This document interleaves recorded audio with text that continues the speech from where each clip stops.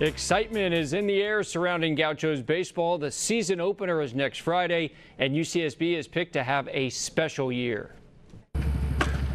UCSB baseball is expected to be a big hit this year. The Gauchos are ranked as high as eighth in the nation in the preseason polls and are picked to win the rugged Big West Conference. You glance at it a little bit, you see it, and that's that's cool. It's good for recruiting, and it's good for our fan base. trying to keep you guys focused on just getting better every day.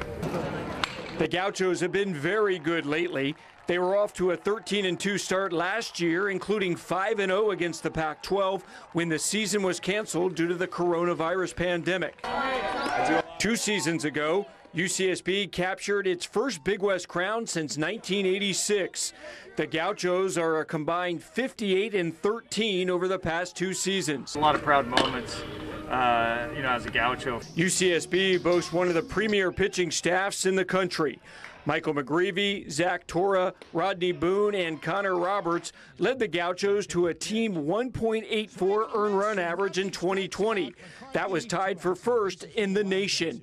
All of those pitchers return. I do like our arms. Getting all of those guys back, you know, we do feel like we have some, some depth on the, the mound. Led by Marcos Castanon, the Gauchos offense outscored their 2020 opponents 96 to 33.